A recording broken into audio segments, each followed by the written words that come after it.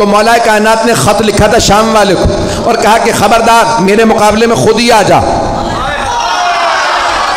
उसने खत लिखा था याली बैठ के फैसला कर लेते हैं, लड़ने की क्या ज़रूरत है? हमारे खानदान मिलते जुलते हैं। तो मौला ने लिखा, वो तलवार जो मैंने बदरो उहद में चलाई थी, वो आज भी मेरे पास है।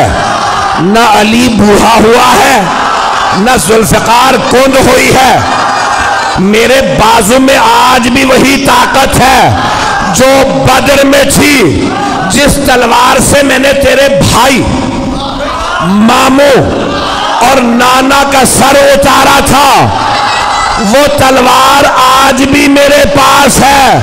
शेर बूढ़ा भी हो जाए तो शेर शेर होता। है